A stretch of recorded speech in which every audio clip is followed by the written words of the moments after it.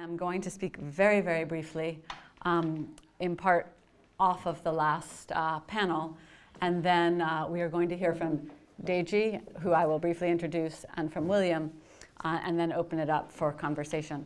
So as you know, this is um, a panel particularly on the teaching of wisdom and pedagogy um, with a particular eye to what happens in the classroom, and in this case, what happens in the college classroom, our university classroom, as uh, William is a professor and uh, director of the Department of Religious Studies at Syracuse University, and Deji is just shifting from Bowdoin College in Maine to the University of Virginia. I'm correct, right, Deji? UVA. Can you hear me? Yes. Um, both of them teach religion. So I want to pick up where um, Giovanni actually was and just make a quick remark um, before talking very, very briefly about what these two are going to address because I think it's very related. And I think um, part of sort of what we were hovering at in this last conversation when Giovanni was speaking about um, some of what's going on in the university and we're thinking about what's happening to um, jobs, let's call it that for a moment, um, I think that beneath that question is a question of whether work is instrumental or whether work is something that is uh, a, a way of creating ourselves. And so I think there's a question of to what degree do we want to be in a world in which all we just fundamentally understand labor as alienated or ideal that alienated labor is somehow a derog is a is a um, deteriorated state. And so when I think about what happens in universities, um, I think we, are really at almost an apex of the question, right? The question is, is education, is education a matter of in, instruction to teach people to accomplish a task with a kind of set external, often material goal?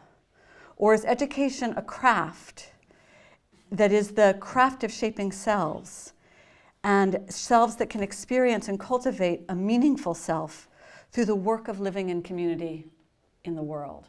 And I use work very intentionally there, both in the understanding that maybe much all that we do may be a kind of work in that sense, but also with the question of creating a world in which the actual work that allows us to put food in our mouths and roofs over our heads is part of that crafting of what we are and what our communities are with the question of like cultivation and craft and meaning at the center of that.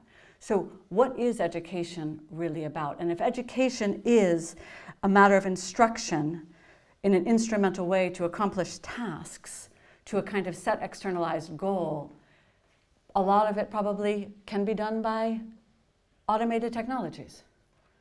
Um, if education is about a very different kind of learning in the service of a very different kind of living, then a lot of it probably can't be done by those technologies. And I think what we are going to hear here is from two professors, teachers, educators, who are committed to the teaching of their material as a site of craft and a site in which the craft of the self and the question of a meaningful self and the question of a becoming wise self or a self that loves to become wise is at play and is at play both in the material they're, that they're teaching and how they're teaching it. And that the very way in which that's at play in the material and how they're teaching it runs afoul of how we think a lot about how religion should be taught or how we think a lot about how much in the humanities should be taught because it violates certain lines we draw between the sacred and the secular, around how we think about selves and community, about how we think about the relationship between different cultures with respect to each other, how we think about power. Um, and so with that, I introduce Deji to begin, and William will follow. Well, first and foremost, I'd like to say thank you for uh, the invitation, Sarah Good and then uh, Professor Stang and CSWR um, for including me in this really great gathering of uh, brilliant minds and people. Um, and apologies that I'm not there in person. I'm very sorry for myself that I'm not there with all of you, um, and apologies to everybody who worked so hard to make sure that this could work on the technological side. Uh, the irony isn't lost on me in the, the group where we're talking about embodiment, that uh, I'm here as a disembodied presence on the screen, but who believe in my subtle digital body will be able to offer something of benefit, um, or at least I'll do my best. Um, so I'm going to try to show a little presentation here, which I hope everybody can see. Um, and as Sarah said, I am a professor starting at UVA uh, relatively soon, uh, University of Virginia. Um, and my area of focus is primarily uh, traditional Yoruba uh, religions. Um, that's my ethnic group from Nigeria. Um, and in particular, there's a tradition called Ifa. That's my, my main focus. So the tradition I know best and study best. Um, some of you may have heard of this before, but Ifa is arguably the most well-known and widely practiced indigenous African tradition. It's a Yoruba tradition of wisdom and divination. The founder or a deity or a prophet, depending on how you translate this term, Orisha, is the Orisha of wisdom and cosmic order, and the term Ifa can refer to this system of divination, but also a vast oral corpus that's used in the divination process. Um, so the Babalawo or the diviners, you can see a picture of one over here, uh, they memorize, you know, anywhere from uh, 10 to dozens of verses in 256 different chapters um, that they recite in the process of divination and apply that wisdom to the problems of their clients. Um, so it's an incredibly vast um, corpus of knowledge that each individual person memorizes, um, but it's so vast, uh, everybody knows different verses, so nobody can actually know all of them. Uh, it's frequently compared to the Bible, Quran, or even the Ching, and it uses a similar notation system to geomancy. Um, for those of you who might be familiar with that in the Arabic, it's called Khataramo or Darbaramo. Um, and I got interested in this tradition uh, when I did some research with the Araba, the chief priest of Ibahani Yoruba, a Nigerian town called Morenike. Um, and he fascinated me so much, I actually went back and uh, did an accelerated version of an apprenticeship with him for a year. Um, I didn't get initiated myself, um, but he showed me exactly how they learned the tradition, um, put me through some of the steps, stages of training, um, and it, it, very much changed the way that I look at just about everything. And we'll get into that in, uh, in a little bit. So the structure of Ifa rests on uh, a kind of hidden cosmic order. Um, this is because Orunmila, the founder, was present, according to Ifa's mythology, at the unfurling of the world and witnesses the origins of all things and the selection of their destiny.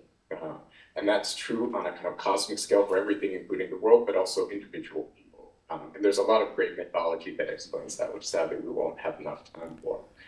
But what all this means is, in essence, Orunmila is one of the few beings that exists outside of time.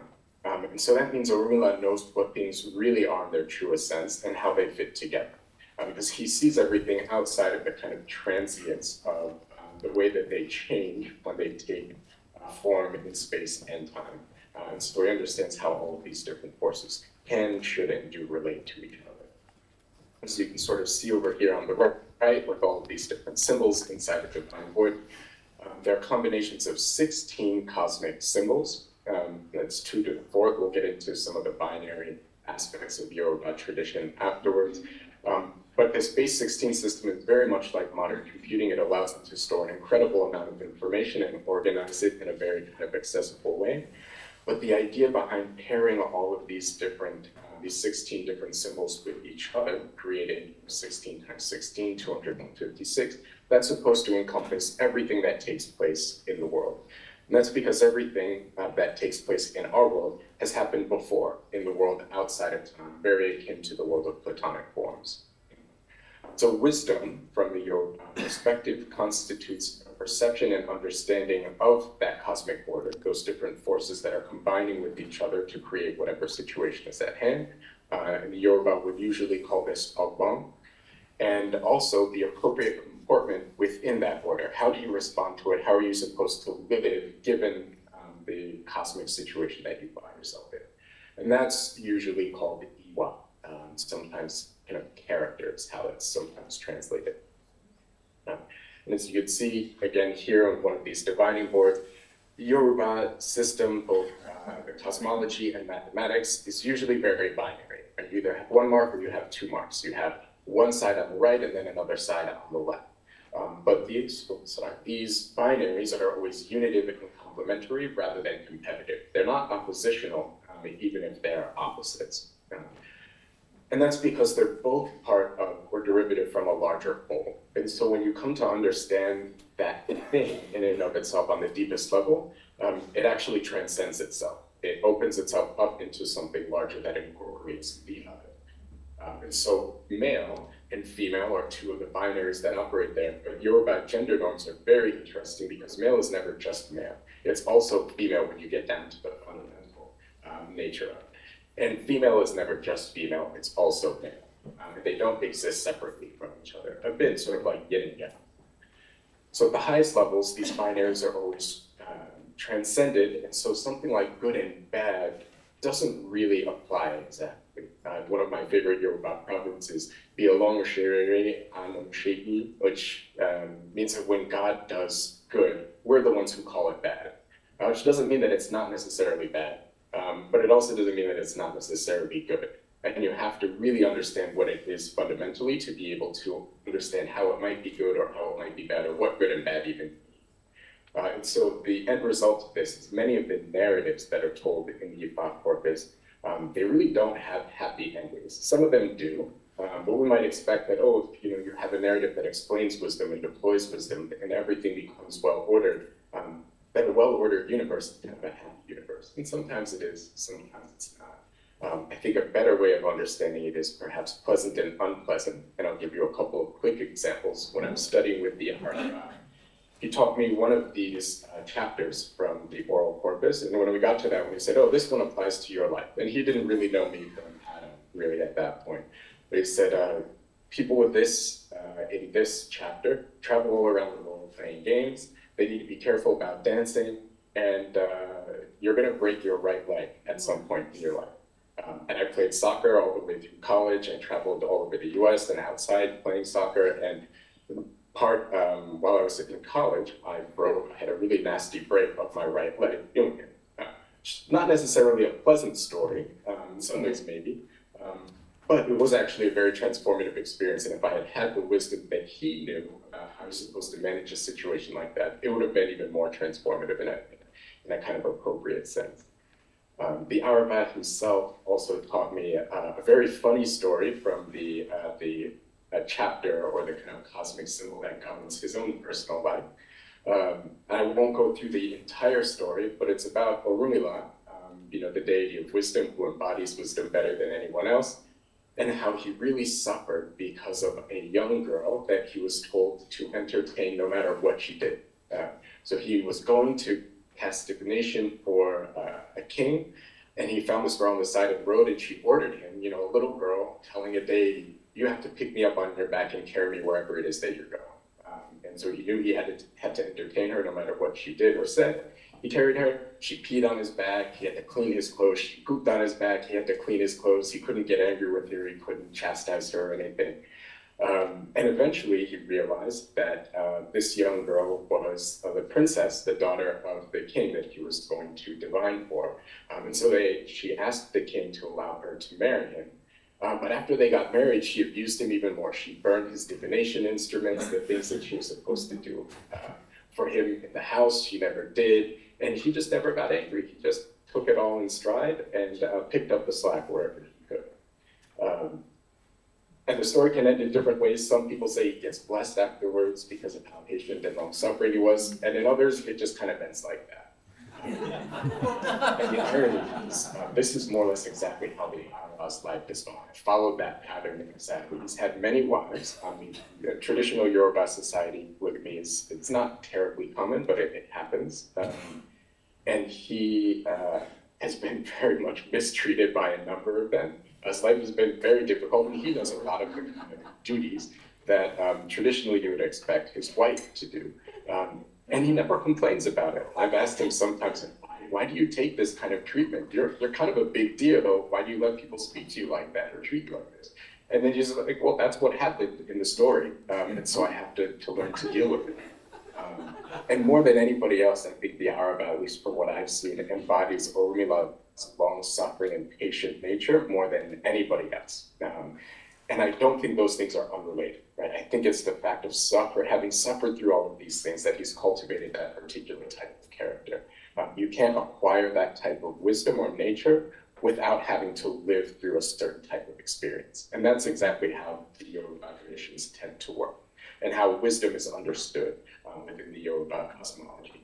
So there's that term ogbon that I mentioned before, which is sometimes translated as cleverness, sometimes kind of like wisdom. It's the ability to perceive the situation um, and understand all of the different things that are at play. I think you can also translate it as iwa, which um, sometimes is translated as character, and it's actually a nominal form of the verb wa, which means to exist or to be in space and time. Um, the best myth that kind of exemplifies where wisdom is located in the Yoruba cosmology is from this one chapter from Ifa Ologbonmiji, which Ologbon means um, the owner of wisdom or the wise person. Um, and in it, there's a calabash of wisdom, Iba Ibaiwa, which uh, God decides to give to all of the different Orisha, the deities, to help them know how to run the world and its affairs well. Um, so they're all getting ready to go up to heaven, to the presence of God, to collect it. Um, but Orunmila, being very wise, says, well, before I go anywhere, I'd like to do divination to make sure I'm prepared and I do whatever I need to do along the way, or I know what to expect. But God told us to go ourselves. What do we really need to worry about? Who's going to interfere with God's plans? So they leave him um, and then go off ahead. Orunmila does it, um, and he's given this message that when you lose something with your hands, you don't use your hands to try to find it, you use your feet. And that's it. And he's like, this doesn't make any sense to me, but all right, fine. Um, he was told to make a, a, particular sacrifice. He offers it. And the Yoruba deity Eshu, um, who's the uh, embodiment of kind of chaos, communications, crossroads, um, interactions between people, um, who's Orunmila's best friend because they're two sides of the same coin, chaos and order. He receives all sacrifices and takes a little cut um, on his way to bringing it to heaven.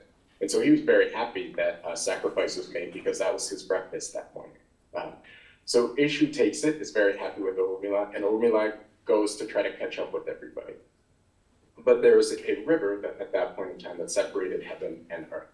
And when Orunmila reaches the river, he sees all of the other Orisha coming back with the calabash of wisdom that they got from, uh, from God. And so they start abusing it by like, this stupid guy, right? We all, we completed our mission, you thought you were smart. I thought you were supposed to be the deity of wisdom. You just wasted your time. They started using him. And Eshu, his good friend, doesn't like it. So he winks his eye, which is how Eshu causes trouble for people. And then he made the person holding the calabash drop it in the river. And then all of the deities get really worried and concerned, and they start, you know, reaching around in the river trying to pick it up or see if they could find it. And then Orunmila remembers, oh, this is what the message was talking about. I didn't understand it before, but I get it now. And so instead of jumping in the river like everybody else, he just kind of starts moving his feet around in the water. And sure enough, one of his feet touches it, he picks it up, and then he eats the whole thing. And this like shocks everybody. They get really angry and they start, uh, one of them threatens to actually kill him, to cut him open and then take the calabash out. And Eshu goes, oh no, no, you can't do that. If you do that, you might cut open the calabash of wisdom and then all the wisdom will fall out and you won't be able to do what you want to do let's take him back to God to be judged, and then God will tell us what we need to do. So they go back up to God, and God says, Well, no, he swallowed it. It's become part of him now. If you kill him, you're killing wisdom. Um, so now, whenever you need wisdom, when you need to know how to run things, right, what's going on in the world, you go to him, and then he'll be the one to dispense it for you. And that's why when people need answers, they turn to this form of divination, Orunmila has codified all of that wisdom in all of the different chapters, of the people Corpus, and his priests or children are the ones who dispense it to everybody now. Um, so from a Yoruba perspective, the purpose of life is cultivating, coming into contact with this type of wisdom, um, and then living it out, much like Orunmila did. And we call this Iwakwere, um, which is kind of a good character, proper comportment, the active, the act of kind of living or embodying wisdom. And because Iwa is literally a kind of nominal form of uh, the verb to exist, means when you have good character, it means you're more real. And bad character means you kind of you exist on a lower level or you can cease to exist. Um, and there's a great proverb, Aigu Bariwa, which means immortality is perfect character or existence. If you're familiar, as I think many of you here will be with like Christology, um, when Christianity came to Yoruba land, a lot of these priests in particular like, oh yeah, this makes perfect sense. If you're saying this person uh, has perfect character, this Jesus guy is the son of God, of course he's immortal. Of course he existed before all ages, and of course he could never die, or if it looked like he died, he got resurrected. Because if your character is actually pure or perfect, uh, if you perfectly embody wisdom, you can never pass away. And there are all kinds of other really interesting things uh, in the Yoruba cosmology that are ramifications of this, the way it plays out even in ritual. But Iwa is also sometimes embodied or personified as the wife of Orunmila, and wife that he pursues and is very diligently and is very devoted to. Um, interestingly enough, though, she's oftentimes depicted as not being very attractive, um, which is funny because she's so valuable and because he loves her so much. Um, but there's this other saying, iwalewa, which means character is beauty. Um, but the, the Yoruba term for beauty here doesn't mean that it's something that's always pleasing, but something that transmits its nature very effectively. So that kind of cosmic nature that it has, the form of that thing, when it's translated directly or efficiently into the world, then it's viewed as beautiful. Deji, I'm gonna give you a five, yeah, I'm giving you your five-minute warning. Oh, yep, yeah we're, we're getting close to the end. Okay. Uh, so with an understanding of kind of what wisdom is, um, I uh, when I began teaching myself, I said, you know, I want to think about what your pedagogy is and how you get people to live or acquire wisdom. Um, and so the first one from Ifa's uh, tradition is narratives uh, are very entertaining and they're much easier to remember. And all of the pedagogical research, even from the Western world, backs this up. You want people to learn something, put it in story form.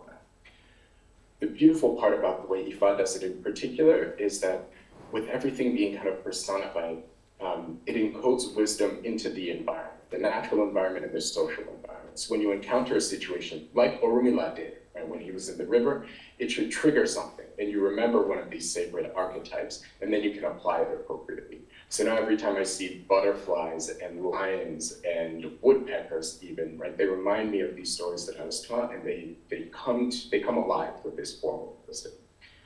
Um, it also gets physically integrated into the body um, in all kinds of ways. People actually ingest things um, during initiation ceremonies in particular. Um, there, there, are little incisions made in the head that sacred material is put into, which is supposed to awaken wisdom or integrate wisdom into their bodies. And the end result is that practitioners slowly internalize these kind of cosmic patterns, and then they recognize them externally um, in the world around them, much like you would with a friend or a person. You become intimately familiar with them, and you can identify them wherever you encounter them. So in essence, wisdom has to be lived. You have to have a lived experience in order for it to really take root in you. And it's particular to every person because everybody's lived experience is slightly different, but this doesn't negate the fact that there are these general cosmic models. Um, and that the whole purpose of cultivating wisdom or character um, is a kind of theosis, kind of deifies you or makes you a, a good transmission of whatever this um, kind of archetype or cosmic model is. So to bring it all home, the way that I try to do it in the classroom myself is that I clearly take the pedagogy and epistemology of traditions like Ifa themselves very seriously because they're highly effective at mediating wisdom for their own practitioners. Um, sadly, I can't replicate the initiation mysteries and experiences for students. Um, I, I, took a class on Neoplatonism with Professor Stang, uh, and I loved reading about, uh, I think it was in Porphyry's Life of Plotinus, how he met this Egyptian priest who introduced him to his own daemon. Um, when I read that, I was like, oh yeah, I know people in Nigeria who've done that. They've described it in very similar ways to me. Uh, but I can't recreate that initiation experience for students uh, in a classroom because I would probably get fired. But still, this kind of personal experience is the highest form of knowledge, the way it works in the indigenous Yoruba traditions, I found to be very, very true. Um, so even if I can't introduce students to their cosmic doubles, um, I can try to get them to use their own lives and their own experiences and then look at them a little bit so one way is I ask them to play the role of the Babalawo and I give them these archetypes and narratives and then ask them to apply them to their lives. And they've done it in really incredible ways. They apply the wisdom from Ifa to help them deal with things like uh, personal trauma from the past, family issues, addiction, depression, um, dealing with racial issues, um, approaching the climate crisis in different ways, but basically everything that you can imagine.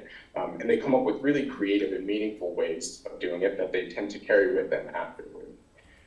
But in essence, the whole purpose is to get them to reconceptualize problems, solutions, and even themselves through the concepts and tools of Yoruba traditions. And so if I can teach them through Yoruba traditions rather than just about Yoruba traditions, then it turns the whole world into a classroom, right? They can apply it to everything that they're doing and everything that they experience. And so this picture here is a project I asked the students to conceptualize themselves as an Orisha or a Yoruba deity. And this student, um, you know, he's a, a, really brilliant student. He played soccer. He's lived in a whole bunch of different places. He's very good with languages. Um, so he incorporated all of these things symbolically into it in the same way that uh, Yoruba people do with their deities. He has an X over the mouth because it's important for him to listen to other people. Um, he viewed soccer as a kind of shared language across cultures and different peoples that unite them. Um, and he's a very kind of empathetic um, and uh, kind of introverted person. So he included tears here as a way of sharing somebody's pain, communicating somebody's emotions without necessarily using words. So he, he found this Yoruba way of understanding, you know, your kind of cosmic archetype as a way to take things he already knew about himself or had lived, um, but then understand them on a deeper level. Um, so anyway, sometimes I have the divination performed for students. They ask ritual experts themselves directly for their perspectives on issues. Um, but clearly, this way of approaching things, as Sarah mentioned, kind of runs afoul of secular religious binaries. Uh, doesn't apply to this mind-body dichotomy. Um, and then the subjective, objective way of viewing things, like, okay, we're just going to study this as a subject or as an object rather than letting it into ourselves, um, isn't the way that the tradition works. Um, and I found that my students actually really enjoy and find value in breaking outside that particular way of looking at. So thank you. I'm, I'm, pretty sure I've more than exhausted my 20 minutes, so I should probably stop there. Um, but I, I, look forward to any questions that you all might have in the discussion afterward. Thank you. Thank you so much, Stacey.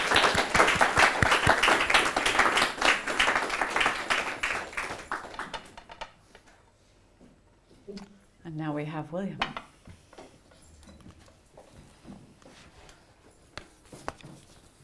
Thanks. I brought a script. I want to start just with a quick moment of gratitude for all of the learning that's happened because these bodies have spent this time together and ask for your indulgence for about 18 minutes because what I have to share is a little like myself odd.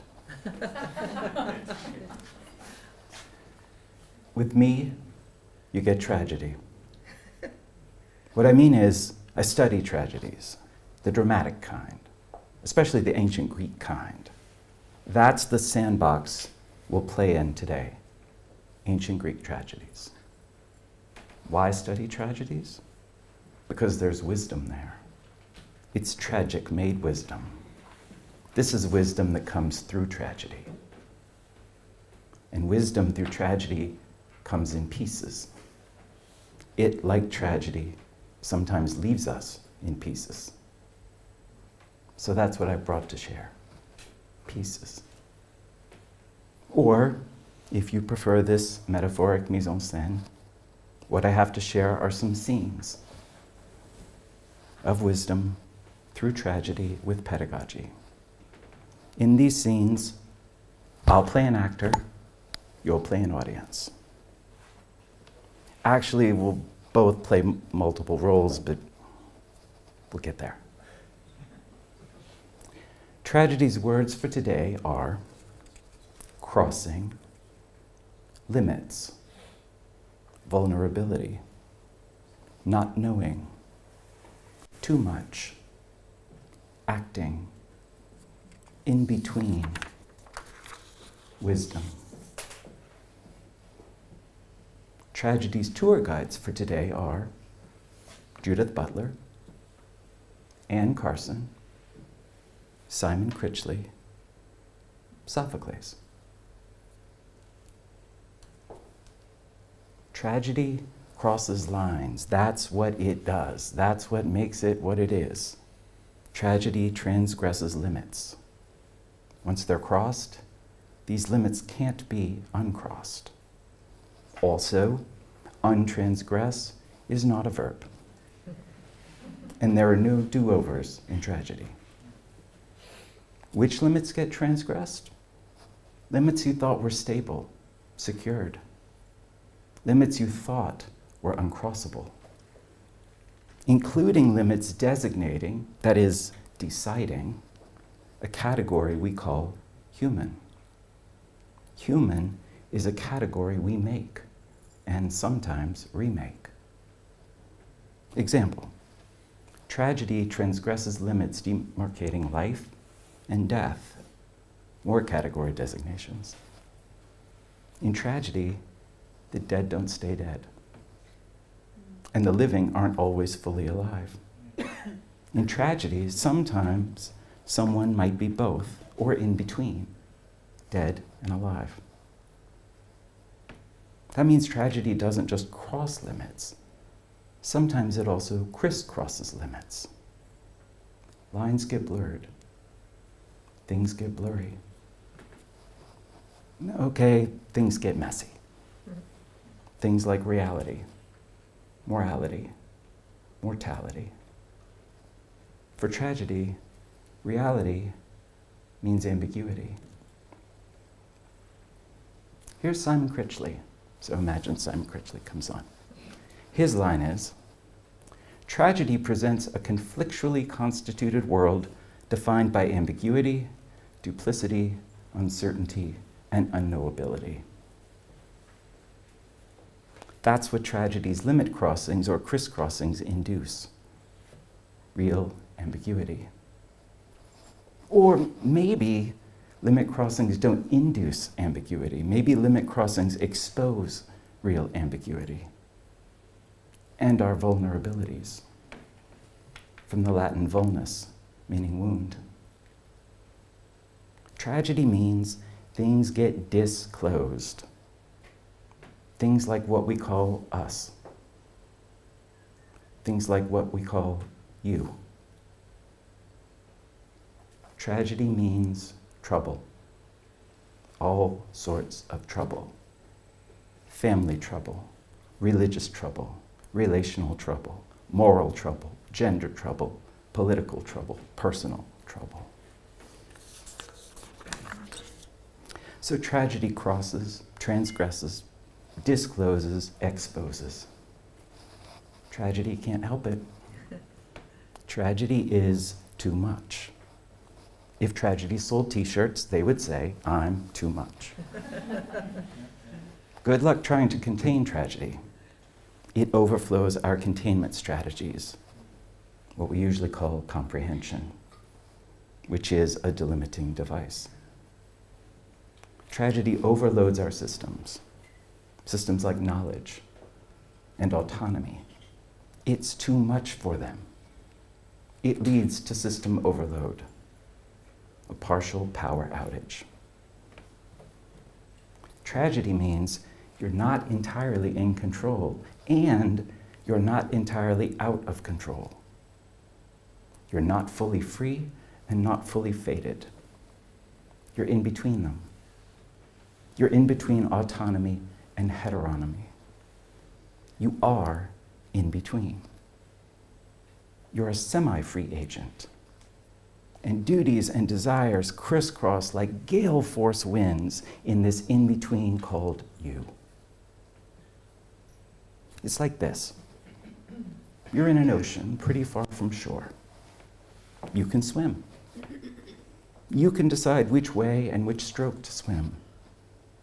But you're swimming in waves, in tidal pools, and it's raining. You're going to come ashore. But how? By swimming, an active verb. By being wave carried, a passive verb. Answer by both together. Tragedy means you're not all together, in control or out of control. Your knowing is partial. You don't know altogether who you are. Your decisions aren't wholly yours. And tragedy means you have to act. You have to do something. Tragedy calls for action. But tragedy's call isn't like ethics' call. Ethics calls on a Saturday morning. It asks, What should you do? It gives you time. You can contemplate. Even if, as in tragedy, there's no right and wrong in the singular. Tragedy calls on a Sunday night, late, like really late. No time for contemplation. It's decision time. Tragedy's questions are what will you do? And then, what now? What will you do? Will, not should. And you. Tragedy addresses you. It calls you to act. What will you do? Well, quick pedagogical pause. What have I been doing? Talking about tragedy? Sure. And talking about pedagogy. Or really staging a pedagogical scene. Take most of what I've said about crossing limits, about troubling categories and blurring lines, about encountering ambiguity, about the too muchness of possibilities, about being and not being in control, about partial knowledge, and then about asking for decision. Take all of what I've said and substitute the word interpretation for tragedy. It still works. Not perfectly. I'm okay with that. Tragedy stages for us this sort of interpretive scene. And we're in this scene. I told you we play multiple roles. We are cast as learners, whether we're in a theater or in a classroom. Change of scenery, not change of scene. Tragedy stages performatively a pedagogical scene. The tragedies I'm talking about are plays. Plays are special kinds of texts. They're performance texts. They call for performance by bodies before other bodies. Plays, working with imagination, cast us doubly. They double our reality frames. We're in our reality and we're in a play's reality. We're in both at once in this performative scene because a play performs its reality in our reality. We move in between them. So plays, through performance, perform critique. I don't mean criticism, I mean critique, a way of valuing ways of valuing. Critique involves us in valuing and maybe revaluing values, ours and others. To do that, we have to be in more than one reality frame at once. As we move, we learn. In this case, tragically. A performance of tragedy is pedagogical. It's to incite learning for us.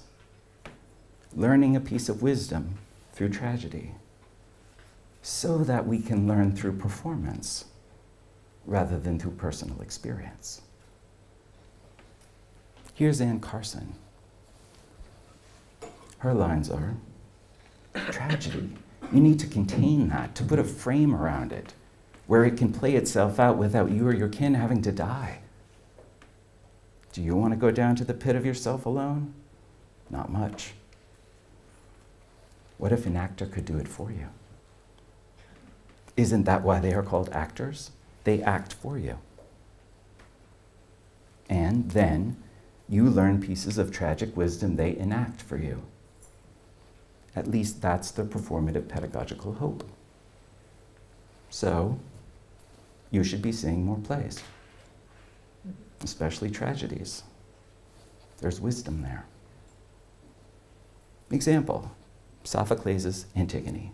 Now, full disclosure Antigone and I are in a long term relationship. For the past few years, we've been on a break. Now we're seeing each other again. So, Sophocles is Antigone.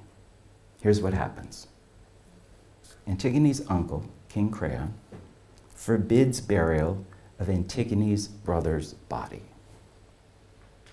But burying it is Antigone's duty and desire. So she does bury it twice. For that, Creon punishes Antigone. He has her buried alive. Bad move, Creon. Plenty of people tell him so. Creon finally relents. Too late. Antigone, entombed and abandoned, has hanged herself. Two more deaths have followed. Creon is destroyed, a breathing corpse, miserable, praying for death. Antigone is inherently a pedagogical play. It stages two different kinds of pedagogical scenes. First kind, of teaching by telling. In these scenes, Creon plays the student, different characters play the teacher. This kind of teaching doesn't work. Creon doesn't learn. Second kind, of learning by living through. Learning a piece of tragic wisdom by living through the learning process learning by way of tragic experience. Tragic wisdom is on the other side of tragic experience. Practical conclusion tragic wisdom costs. It comes at an experiential price, up to and maybe including destruction. Pedagogical conclusion tragic wisdom comes via a phenomenological pedagogy.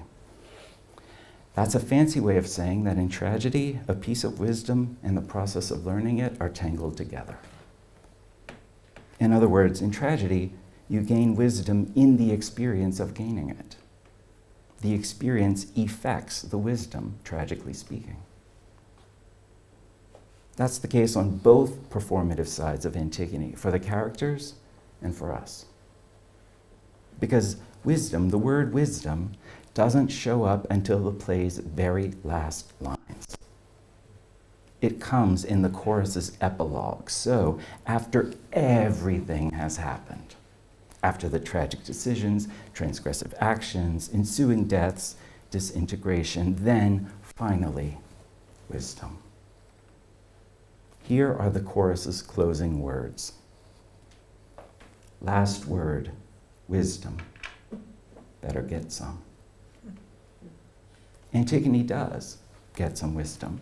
A piece of her tragic wisdom is almost her last word in her last scene before being buried alive. Here it is. I'm a strange new kind of in between thing, aren't I? Not at home with the dead or with the living.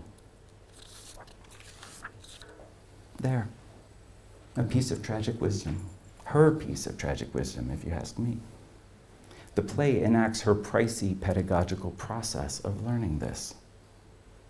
After all of tragedy's moves, a moment of recognition and reckoning. For Antigone, and differently for us. For what and who we call us. For what we call human, and how we draw its lines and limits, and who's in and who's out for what happens when these lines and limits get crossed, crisscrossed, transgressed, maybe even breached. Here's Judith Butler. Their line is if Antigone is human, then the human has entered into catachresis. We no longer know its proper usage. Possibly an opening for learning for us. Wisdom through tragedy in pieces. Quick performative pause. How do you imagine Antigone performing these tragically wise lines? Here they are again. I'm a strange new kind of in between thing, aren't I? Not at home with the dead or with the living. What do you imagine this scene looks like, sounds like, feels like?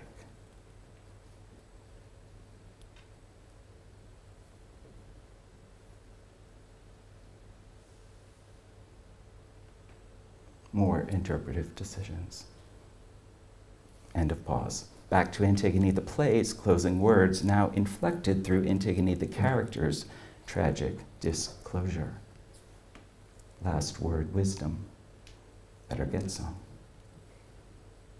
Antigone's last word, wisdom, is a particular kind of wisdom. It's phronesis, not Sophia. It's practical wisdom. It's a matter of action in a situation. This isn't global, good in all time zones wisdom. It's particular, personal, what will you do now wisdom. Almost done. I know I haven't mentioned university classrooms or body is really my fault. Internal monologue. Quick, think of something. No time for deliberation, time for decision, time to act. You need to do something. What will you do? A super fast pedagogical performance with a problem. Back to Antigone, to studying Antigone with students in university classrooms. Imagine two student volunteers. Each character is playing, each playing a character from Antigone. Creon and Antigone say. This scarf represents their relations. How do we use this scarf and their bodies to depict these relations and their tragic effects? One possibility mutual handcuffs. Another possibility double blindfold, standing back to back. My favorite around Creon's wrist and Antigone's ankle. Bodies, imagination, interpretation, decision, interaction, performance, experience. Last word learning. That's it.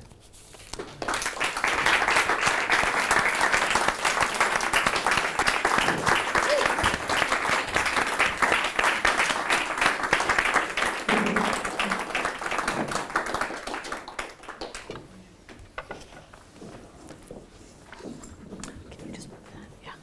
Can, you just grab the microphones? Sure. All right, Camilla is going to take this microphone and man it for questions or comments. First of all, thank you, William, and thank you, Deji, for two very, very interesting, provocative, engaging um, speeches or presentations.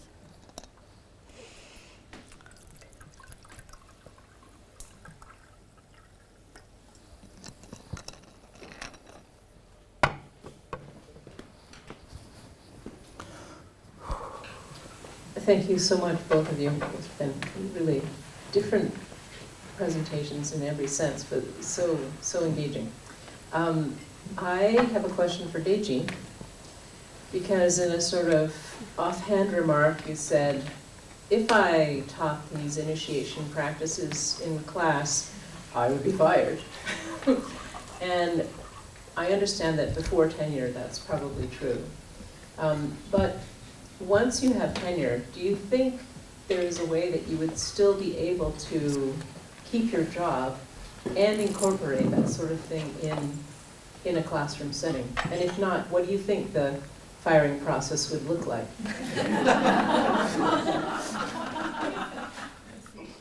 I think I heard the question, but I'm having some trouble hearing the microphone. The, the volume is a little bit low, so if you don't mind, I'll try to repeat what I think I heard, and then you can let me know if I didn't hear correctly. Um, I think your question was that, you know, I mentioned if I tried to repeat the initiation process for Ifa in a classroom, that I would lose my job. We and, and you're asking if, after I had tenure, if there were ways, you know, I thought I might be able to incorporate um, that into the classroom. As a way to help students, you know, encounter wisdom or grow as people. Is that more or less it? Yep. Yeah, okay. Um, perhaps, I think um, I've encountered so much resistance from some people, especially in religious studies, um, that I'm not sure tenure would even fully protect me from that. Uh, and it's harder, especially with some uh, African religious traditions, because they aren't taken quite as seriously. Um, I, the way I currently approach it is I, I call the Araba in Nigeria, and I brought him to the US and had him do divination for students, and the results have been astounding. Um, you know, some of the students, the, the effect he's had on them, uh, people that I never even met before, you know, have written me letters like, thank you, this is an issue I've been struggling with for like five years, 10 years. Um, and that thing that he told me, I mean, he doesn't even speak English. I don't know how he knew this about my life, but it's, it's kind of to, uh, to William's point, it showed me what to do. Like I couldn't figure out what kind of action to take or how to structure my life. And then this, like what he said, just put it all together and then I did it. Um, and if I open the door for students to do that, and I say, look, if they want to walk through it, it's up to them. That's not on me. Then I, I, I kind of get around it that way, um, because then when it's a personal choice done outside of a classroom, that's fine. I think because the uh, Western educational system is structured so differently, um, it would take a lot of broader systemic work, I think, to be able to, uh, and it could be perhaps smaller at just an institutional level, like a specific college or university. Um, but I think you'd have to fundamentally restructure what you think a classroom is or what the purpose of, Mhm. of that is. Um, you know, for, from Ifa's perspective, the whole point is to cultivate Iwaka and to become a wise person. Um, you know, where I've taught before here, it's, it's to gain knowledge. And those are two very different things. Um, so I don't know, I'd have to think more about, uh, I- it's just, yeah, it seems so far-fetched to me to put Ifa initiation as part of the curriculum, um, because, you know, that could run afoul of people's religious sensibilities, not to mention the conventions of the discipline. Um, I myself am not initiated because I'm a Christian and I wasn't sure if religiously that would be the right way to go. So I'd have to give some more thought to um, how close I could get to that, um, but currently I'm just trying to find creative ways around it.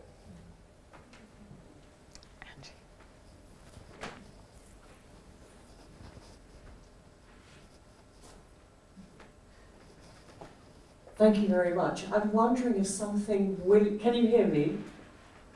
Yes, I can. I'm wondering if something uh, William said about teaching tragedy sort of secondhand through the experience of studying a play and enacting it out, rather than actually having your students embalm themselves in a tomb. I wonder if that might help. So if your line managers are, with, with some justification maybe, a, a little alarmed at the thought of actual initiation ceremonies happening in the classroom in case they're worried about indoctrination and so on. And um, maybe there are ways of acting out those initiation ceremonies at a distance through the kinds of narrative and myth that you were discussing, um, so they can learn through a performed embodied experience, but without actually at risk of being told you are now initiated, in the same way that Williams students can learn a lot through acting out and watching and uh, tragedies without actually having to die. Yeah, thank you for that. Uh, yes, that's part of the reason why I work so much with narratives. I mean, we, the way these things are usually translated in English, they'll call them myths. Um, but you could view each one of them as their own like individual plays. And the purpose of this divination process is, in essence, you give people a script, and then you say, "Go live it out." And the diviner kind of helps you figure out exactly how to how to uh, perform it in your particular instance. Um, and so that's what I teach them to do with the narratives when, um, when I, I, teach them or I provide them. But also the initiation ceremonies themselves, they read accounts of them. Um, and um, the initiation ceremonies themselves involve enaction of some of these you know, mythic archetypes and things like that, but also just other um, symbolic experiences that they're supposed to have. Um, and so I, I do engage with those to a certain degree um, as well. Um, I think the difficulty where I, I think you can't, there's no substitution for some of these initiatic experiences are the kind of secretive mystical ones. There's no way for me to, to replicate that somewhere. I, I, I can't introduce you to a cosmic double without going through the ritual. Um, and that's where, uh, I don't know, maybe I should ask the diviner himself to help me come up with better pedagogy and find another way to address that. But currently, I haven't been able to figure that one out myself yet either. Um, but I do very much like this idea enacting um, and having students um, put themselves into a role so they can experience it secondhand. I think that's the next best thing for sure. Um, I have a question uh, that could be for William, but could also be for other people in the room, which is that we began this series of panels, and in fact, we began our play together from the Western philosophical tradition, and um, to some degree, also invoking the I biblical. don't find together in your Apple Music library. You can ask them to play a radio station or ask for your music in a different app.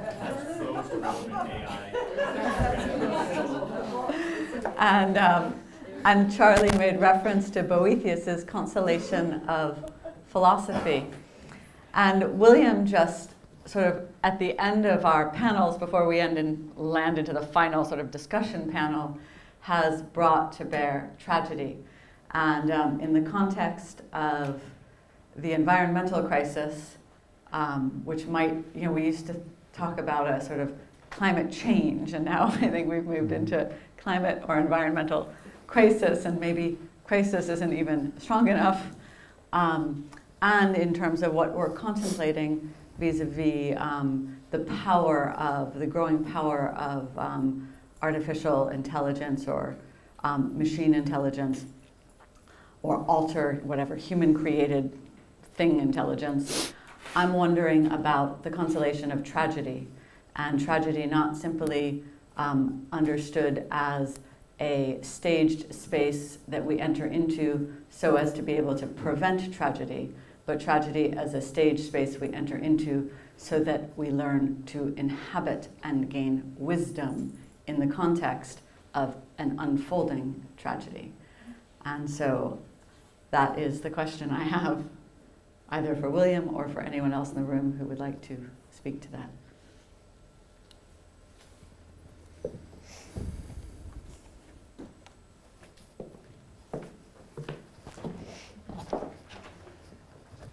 I was, I was thinking about tragedy in that context, and where do we have modern tragedy that we can experience and learn from? And when we talk about AI, the first thing that most people think of is the Matrix, and you know this tragic potential future. You know, sci-fi or science fiction gives us the moment of what does the world look like post-apocalypse? What does the world look like? You know, how do people live at these moments of future you know, crisis. I was just curious, you know, are there other examples of what you just said, of, of places that we can, not that the ancient Greeks don't have incredibly relevant messages for us, because of course they do, but where do we go, what, what do we learn from when we think about these sort of modern moments that aren't necessarily translated from Well, the ancient? I just want to clarify, I'm talking about living in the fires in Canada now. Mm-hmm. Right. I mean, as As am I. opposed, as opposed to, no, that's for you. As Science a- fiction is not now. I mean, science fiction isn't the distant future, but this is Right, But, but I mean world. not, I mean not a narrative or a play, but finding that that is the world that we are in.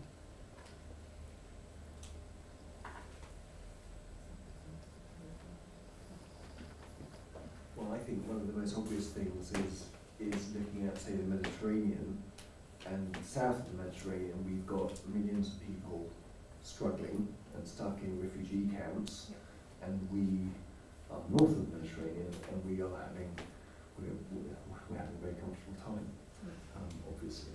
And so I think we all need to get out there more. Um, and yes, the environmental aspects are big, but the human aspects of it are extremely large, and I think we are all in danger of not. I think we do need to see them firsthand. I, I think I think you know books we all love, but I think we need to go and see it and, and do things about it.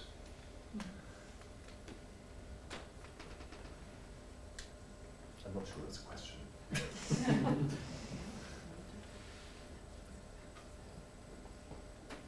have a question for William.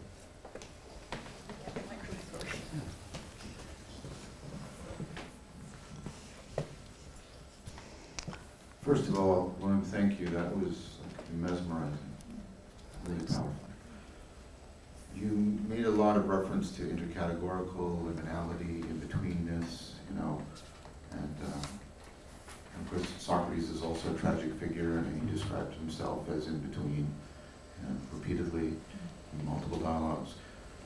Do you think tragedy is telling us that that's an essential feature of human beings? I'm not trying to put essentialism on you, but is it, is it something that all human beings, we can, it's something that binds us together, human beings are fundamentally in between?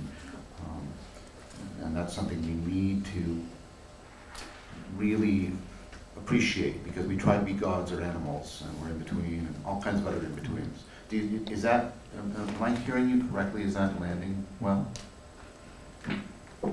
Well, first, thank you for the very kind comment. Um, if you couldn't tell, I was shaking up here before I spoke, so I appreciate the the kind reinforcement. Um, I think tragedy is trying to teach us that ethically, especially, we are in between mm-hmm. autonomy and heteronomy, mm-hmm. and that to imagine ourselves to be fully in control is foolish. Mm-hmm. But we shouldn't just throw up our hands and say, "Huh, we can't do anything.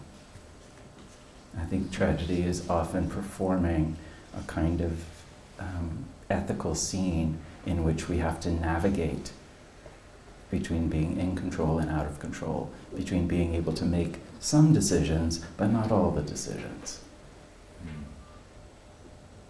And especially in a contemporary world, that's a big ask because we like to think that we know ourselves and that we control ourselves. And tragedy tells us think again. Thank you. Um, yeah, I'll just, uh, if I could just follow up one more thing, um, in case you're interested. Um, there are nine gods and goddesses that show up in Antigone. And so they represent not so much like deities as these forces that are pulling human beings in all these different directions, and there are competitions about Zeus is on my side, no, Zeus is on my side. Um, and so it, I think that that is also a way in which religion is entering this tragic picture and feeding the ethical performance by personifying these forces that push and pull us in different ways. Um, I hope that responds to your question. Very well, thank you.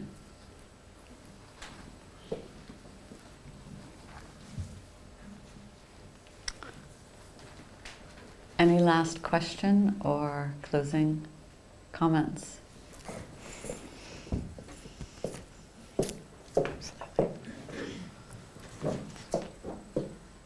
Just briefly wanted to say thank you for talking about divination. Um, I think if we're talking about wisdom, so many people have gone to divination as a way to acquire that wisdom. So I'm really glad that somebody talked about it. That's all.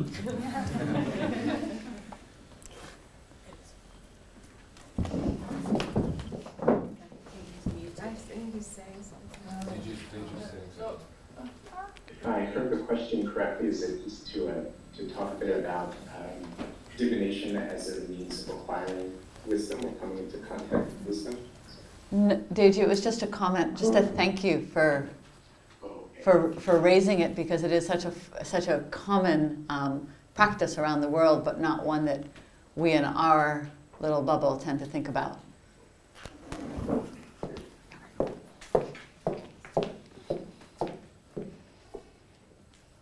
Thanks. Um, I just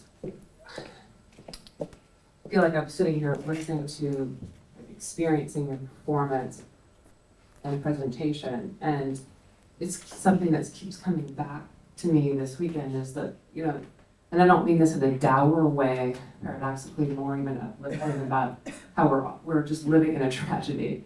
You know, it's like we are in this in between and that maybe that's not so terrible in the process of gaining the wisdom from the breaking down if it's not so much that it overcomes some aspect of containment, but maybe the containment is this generation of wisdom. Mm-hmm. And then I think about, Daisy, when you say, you know, I broke my leg, you know, and it's like, that there was sort of a, you know, it, it, like, oh, there's something wise out of it. First, it's like, you know, sorry, that sort of, it sucks, it's not a great thing. But then, is it good or bad? Is it good or bad? It's that same in between. Um, so I don't know if I'm, if this is just a comment, um, more than a question, but it's really a, a thank you. Thank, thank you for both of you. Close with that? Or do you want to say something? No, I'm very aware that I'm standing between you and food, so I should probably stop. Thank you so much, William. Thank you, Deji. Thank everybody.